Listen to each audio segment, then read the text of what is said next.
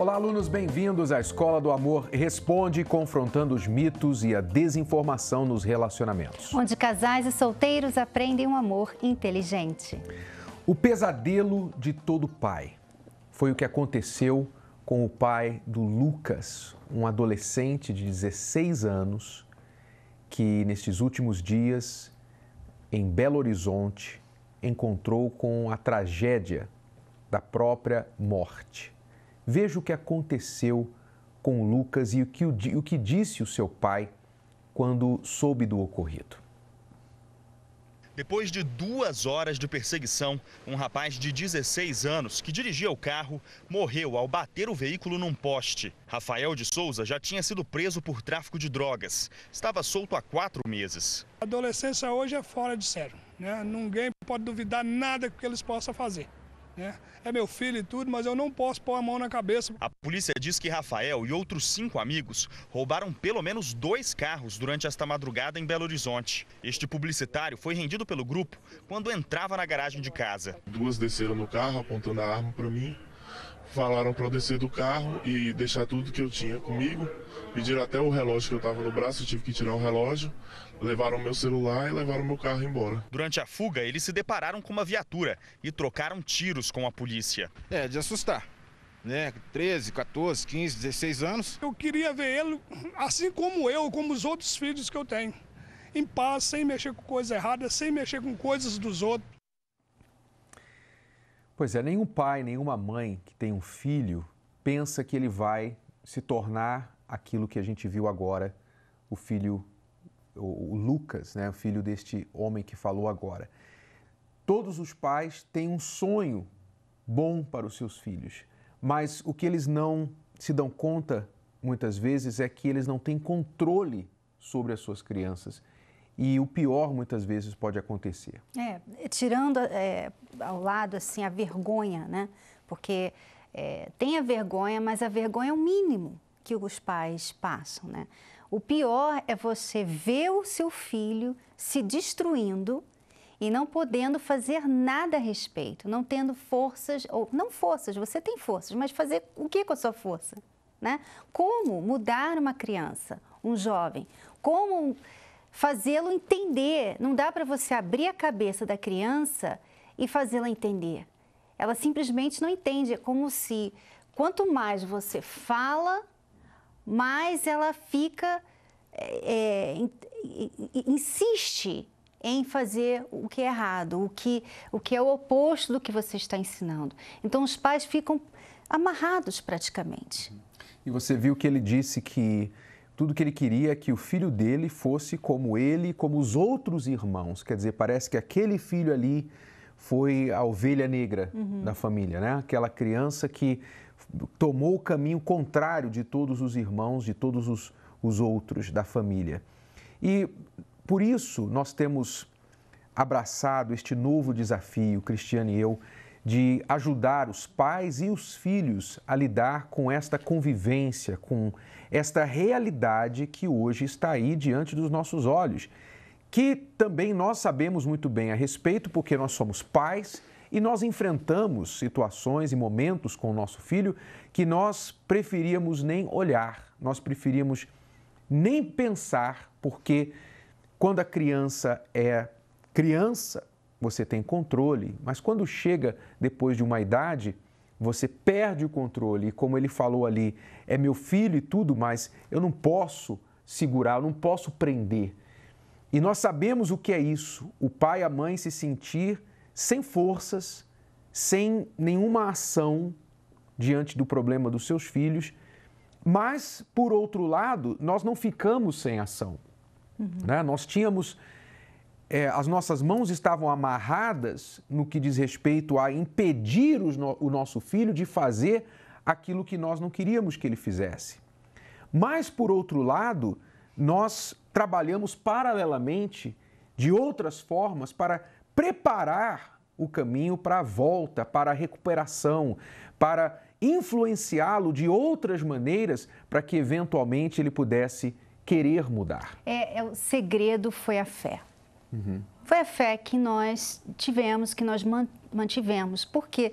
Você, quando você chega numa situação, qualquer área da sua vida, em que você não tem mais o que fazer, você já fez de tudo, você já tentou tudo e nada resolve, então, minha amiga, meu amigo, você tem que partir para a fé.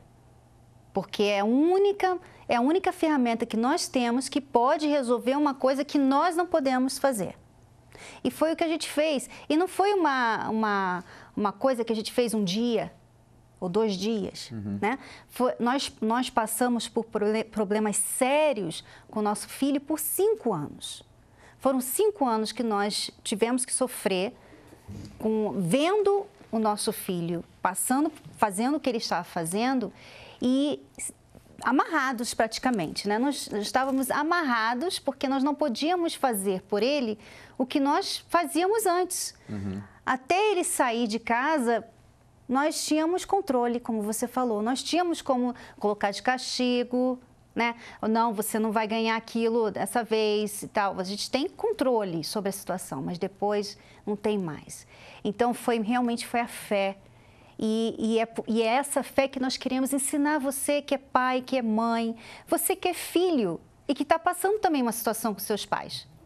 Você, você Renato, passou, você é, até mesmo pensou em morrer quando uhum. você tinha problemas com seus pais. É, porque quando eu descobri que meu pai estava traindo a minha mãe, para mim, aquela pessoa que era até então o meu herói, que era o meu exemplo, que eu admirava por, por, por eu ter crescido e conhecido meu pai como uma pessoa honesta, uma, alguém que trabalhava, que se sacrificava pela família, de repente, da noite para o dia, tudo aquilo caiu no chão. Toda aquela máscara caiu no chão quando eu descobri que ele estava traindo minha mãe. Então, para mim, a vontade de morrer foi muito grande, especialmente de ver minha mãe sofrendo né? Porque eu tinha meu pai como meu herói, minha mãe como minha heroína, e quando eu vi que ele tinha feito aquilo, além da decepção de, de ter conhecimento disso, ver o que a minha mãe sofreu de, de estar sendo a receptora desta traição, desta dor. Então, nós sabemos o que é a dor de filho, nós sabemos o que é a dor de pai. E por isso nós estamos agora procurando compartilhar o que nós aprendemos nesse caminho doloroso com pais e com filhos, através de um novo trabalho que nós estamos intitulando A Transformação Total, que é a palestra para pais e filhos, a Transformação Total, aos domingos às 18 horas. E vamos compartilhar neste domingo exatamente um tema que eu creio que vai atingir em cheio o coração de muitos pais e de muitos filhos. O tema da palestra deste domingo será quando o seu sonho, as suas expectativas, o que você queria e planejava para o seu filho se tornou totalmente o contrário, veio acontecer o contrário. O seu sonho se tornou o pesadelo. O que fazer? O que fazer quando você projeta o futuro do seu filho, da sua filha, de uma forma e a realidade se torna outra, totalmente oposta. O que fazer? Nós vamos falar sobre este tema neste domingo na palestra da transformação total de pais e filhos. Nós estaremos às 18 horas no Templo de Salomão ajudando você a lidar com esse assunto, com essa luta que você tem vivido. E filhos também que dizem assim: Poxa, eu não tenho a mãe ou o pai que eu queria. Né? Eu queria que minha mãe fosse diferente, meu pai fosse diferente. Eu acho que minha mãe não entende, meu pai não me entende. Por que, que eu tive nesse, esse pai? Por que, que eu nasci nesta família? Né? A pessoa, o, o, o desejo dela, o sonho dela veio se tornar o pesadelo dela. É, o contrário. Tem, tem filhos que preferem ficar fora de casa do que em casa. Preferem estar na rua do que estar com os pais porque a companhia dos pais é tão difícil, né? É, tem filhos que não sabem o que fazer, os pais vivem brigando. Tem filhos que não sabem como ajudar os pais. Eles até veem o que os pais estão fazendo de errado, uhum. mas por serem filhos não sabem como ajudar. Né? Então é, é, é, mudou tudo, né? Você, era para os seus pais estarem ajudando você e você não está sendo ajudado por ninguém, você se sente só. Você não tem aqueles pais que os seus amigos, suas amigas têm. A sua tia, o seu tio. Você não tem um pai e uma mãe que cuida assim, que se importa. Né? Eu lembro de uma jovem que eu conversei há, há um tempo atrás, que o pai se separou da mãe e eu perguntei para ela: é, Você tem contato com o seu pai? E ela falou: Não, meu pai não liga para mim. Eu ligo para o meu pai e meu pai não atende. Meu pai faz fazem tantos anos, eu não lembro quantos anos que ela falou, que meu pai não me procura, meu pai não se importa comigo. Uhum. Quer dizer, você, você como filha, você também fica sem ação, né? Porque como é que você vai fazer o pai ou uma mãe querer ter contato com você? Então, é um, é um pesadelo que pais e filhos estão vivendo, né? Uhum. E você que talvez é pai ou mãe de um, uma menina, um menino que hoje não te dá nenhum problema, nenhum problema. Você é pai ou mãe orgulhosa, orgulhoso do filho que tem. Só que quando você vê notícias como essa que nós passamos há pouco, quando você eh, olha o mundo e como as crianças estão, como os adolescentes estão, você teme e treme pelo que pode vir a acontecer com o seu filho, a sua filha, quando ele tiver que ir para a escola, tiver que se envolver com outras pessoas, porque você não vai poder trancá-lo dentro de casa, ele vai ter que viver neste mundo. E você pensa, poxa, como que eu vou evitar que o meu filho se envolva com as coisas ruins? E muitas vezes você até protege o seu filho da, da vida lá fora, mas hoje em dia a vida lá fora está dentro da sua casa através da internet. Você manda o seu filho para as melhores escolas e pensando nessa escola ele vai ter um bom futuro, as crianças lá são boas crianças e tudo mais. E lá naquela escola você também tem os piores problemas. Então, nós já passamos por tudo isso que estamos falando aqui. E não somos os pais perfeitos, não fomos pais, pais perfeitos, eu acho que. Aliás, é, é, uma das razões que nós queremos ajudar as pessoas, porque nós erramos também. Erramos como pais, assim como no casamento, nós não fazemos segredo de que nós erramos no nosso casamento por muitos anos e por causa dos nossos erros nós aprendemos e também erramos como pais e aprendemos.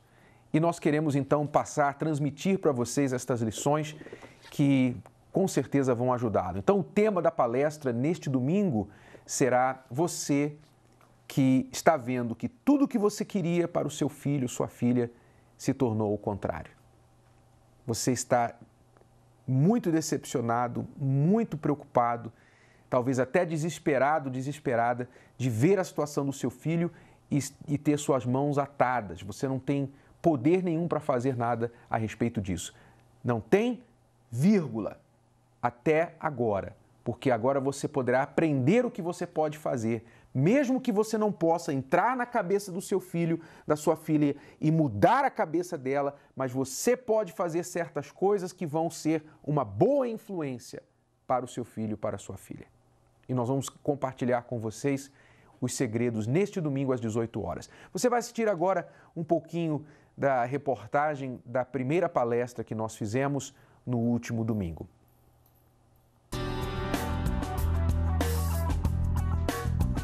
Disciplinar o filho pode ser uma tarefa difícil, mas fundamental.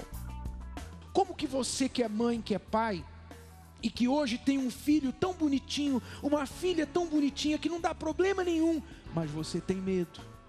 Você tem preocupação, você precisa aprender as ferramentas para você treinar a sua criança no caminho certo, para que depois de velho ele não venha se apartar desse caminho. Você vai receber uma orientação para resolver o problema da sua família aqui nessa reunião. Eles vieram de longe. De Uberlândia, Minas Gerais. Eu vim de Curitiba. Do Rio de Janeiro. De Palmas, Paraná. Rio Grande do Sul, Santa Maria. Macaé, Rio de Janeiro. A gente é de Guarapava, Paraná. Eu saí do Rio de Janeiro às quatro e meia da manhã para estar aqui hoje às 6 horas da tarde. Às 18 horas foi maravilhoso e valeu muito a pena. E sentiram a transformação. Eu era uma pessoa rebelde, é, que não tinha compromisso com as coisas. Hoje eu tenho um compromisso, hoje eu sei ouvir. A reunião de domingo preenche a gente, né? Aquele vazio que a gente sente também, renova a gente. Aqui eu aprendo, né, a lidar no dia a dia, a lidar com as minhas filhas, a lidar com a minha mãe. Então não deixo de vir por nada. É um alimento que nos fortalece para ganhar, para assim, para perseverar e vencer no dia, na semana inteira. Eu perdi uma filha faz pouco tempo, vai fazer uns dois anos, e desde que, que ela faleceu, eu ainda não superei isso, né? E todos os traumas que a gente tem, alguma coisa, a gente termina sem querer descontando em quem está do nosso lado, né? A gente fica nervosa, a gente fica diferente e a gente seguir na direção e obedecendo, tudo fica bem. Né? Eu já tive várias experiências de outro tipo e sempre acaba tudo bem, né? Nós viemos, na verdade, buscar é, um, um, tratamento, né, para entre pais e filhos, né? Não tem palavras, só a pessoa estando aqui mesmo para poder entender o que a gente pode tentar expressar por umas palavras somente. Cada dia mais que a gente vem, a gente aprende novas coisas, né? Principalmente com a família, a conviver com a família, a dar mais atenção para a família, né? Os ensinamentos são como conviver melhor, né? Como poder educar o seu filho, né? É muito importante para a gente, né? Ainda mais de mãe de primeira viagem que vem sem experiência e para mim isso foi ótimo. Todos os domingos, Renato e Cristiane Cardoso realizam a palestra de transformação total de pais e filhos. Você que é filho e tem um dilema com seus pais, ter crescido num lar dividido, seja qual for o problema que você tenha com seus pais, com seus irmãos, você vai aprender aqui essas ferramentas. Alguém tem que se levantar pela sua casa. Dona Maria só via destruição dentro do lar. As brigas entre os filhos eram constantes. O amor se transformou em raiva. Não sei falar. Era muita desunião entre os irmãos. E aquilo para mim trazia muita tristeza, muita angústia. Eu cheguei até a pensar em desistir de tudo e sumir, sabe? Mas eu pensei, ligando a televisão fora de hora, perdi o sono. Daí eu falei, meu Deus, por que todo mundo consegue? Por que, que minha família é assim? Por que não tem união? Não tem amor? Eu não ligo pra nada. Eu não tenho nada, eu não quero nada. Sabe? Eu só quero a minha família unida, os irmãos, sabe? E o pai também, muito triste também, desgostoso, tentando me, me acudir, sabe? E, e ele também não sabia como conversar nem comigo, que eu também já estava no fim, que eu não queria aceitar nada. Eu não queria que falasse nada comigo. Eu me sentia apunhalada de tudo quanto ela estava me matando aos poucos.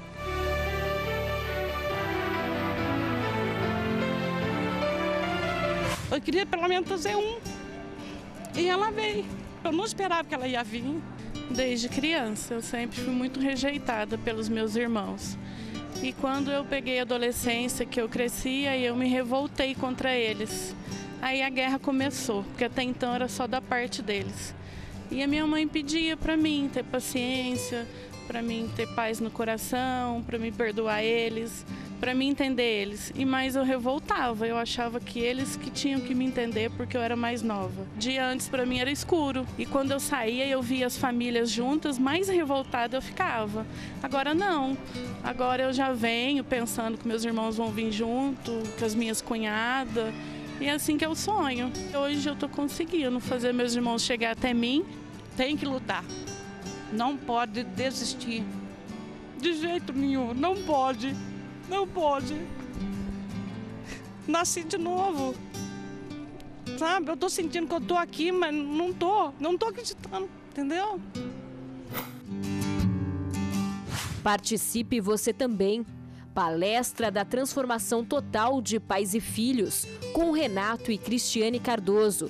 Domingo, às 18 horas, Avenida Celso Garcia, 605 Brás, no Templo de Salomão. Nós vamos ver agora o vídeo de um menor que foi preso. Veja como a mãe lidou com esta atitude dele.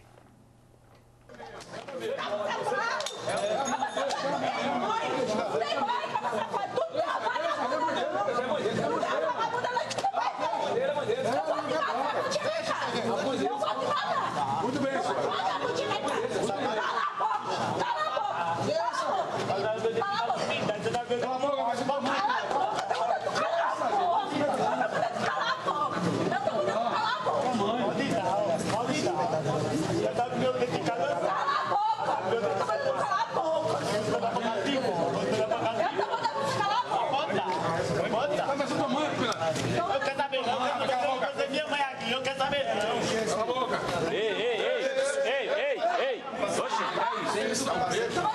Afasta aí, afasta, deixa ela aí. Deixa ela aí. Você vê que no final ela pegou um capacete né, de, de motoqueiro e ela ia dar com o capacete na cabeça do filho. O filho ele tinha sido preso, né, cometeu algum, algum tipo de crime, estava na delegacia. A mãe, então, não aceitando aquela situação, partiu para a agressão do filho. Mas você vê que o filho está ali numa atitude desafiadora, ele não está é, mostrando nenhum arrependimento e com certeza as pancadas da mãe não estão ensinando nada para É ele. isso que acontece quando você não sabe como lidar com uma situação em casa, né? Você começa a fazer coisas que eh, pioram ainda a situação.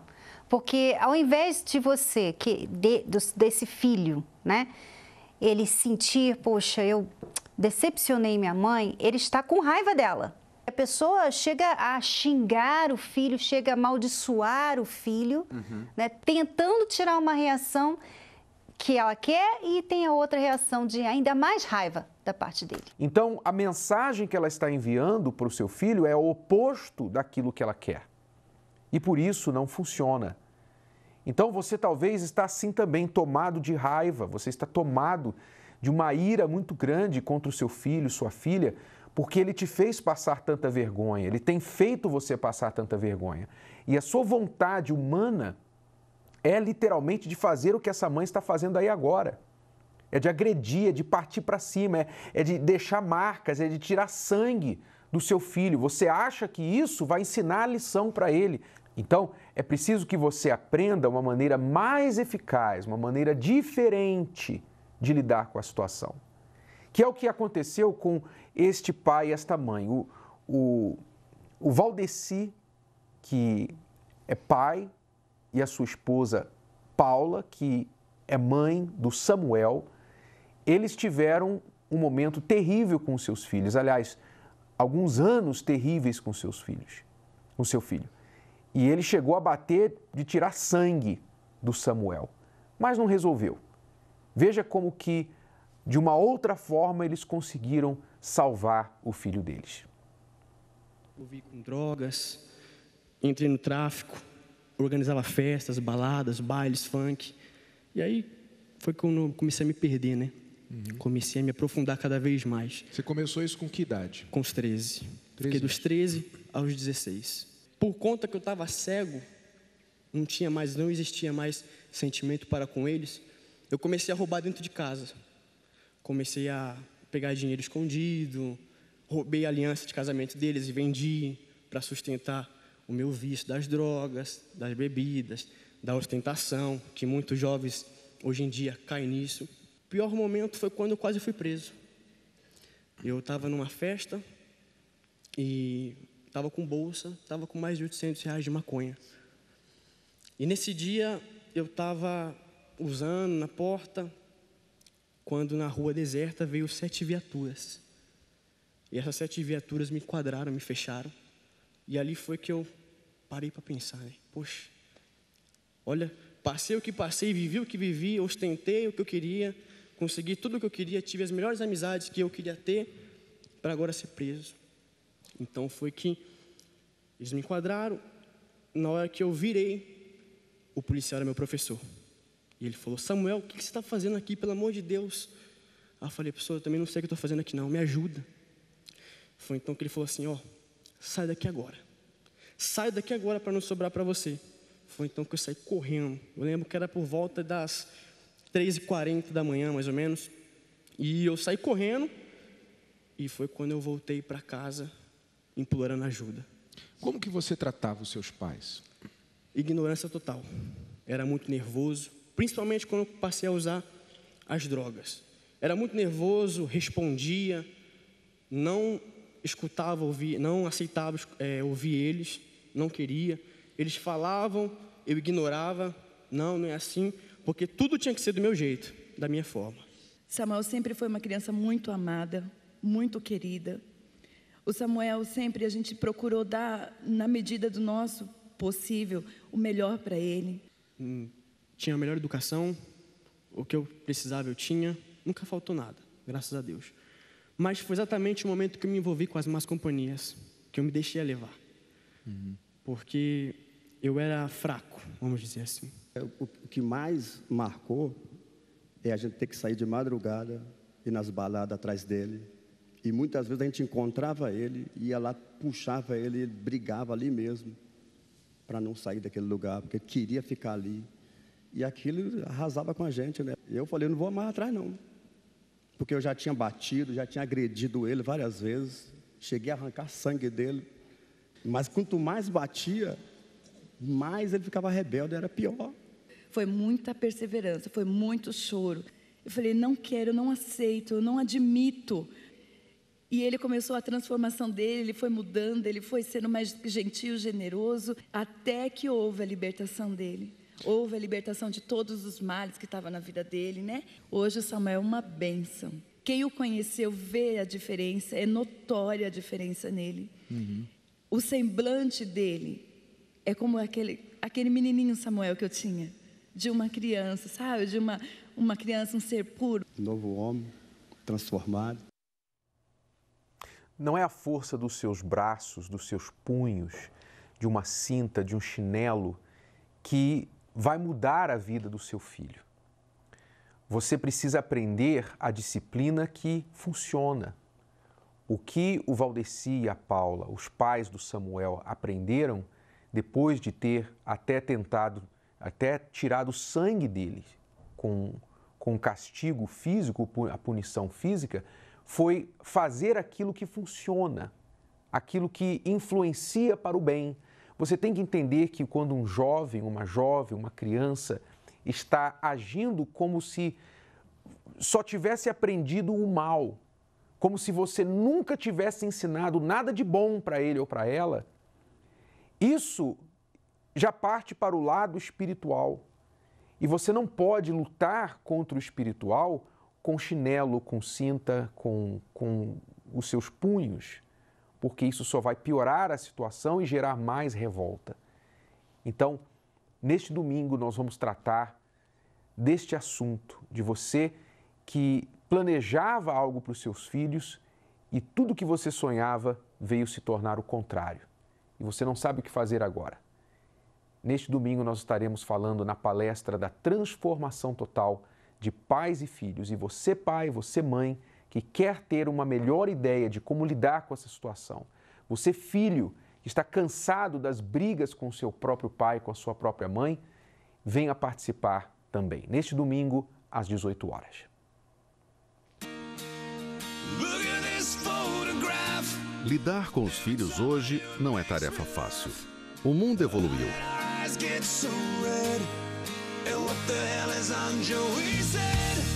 Mas os problemas em família também. Muitos momentos tristes, muitas lágrimas, muitas noites sem dormir. As pessoas falavam assim: ah, não tem jeito não, ela não. Sua filha, Tainara? Não, ela não tem jeito não. Eu tinha um complexo, um, uma coisa ruim que eu queria que ela sofresse. Eu queria fazer só para envergonhar ela. A disciplina em excesso é criticada, mas a falta dela traz consequências graves. O que fazer? Não desista do seu filho. Uma atitude sua pode fazê-lo mudar.